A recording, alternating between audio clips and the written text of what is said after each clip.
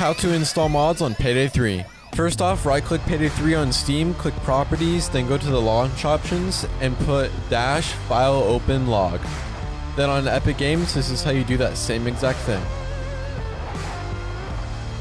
Then after that, be sure to click this button right here and it'll open up the Payday files. And on Steam, do the same thing that we did last time, but click Browse Local Files. Then when you are there, click Payday 3, Content, then Files. Then create a folder and name it tilde Mods. Put all your mods in there, and now you know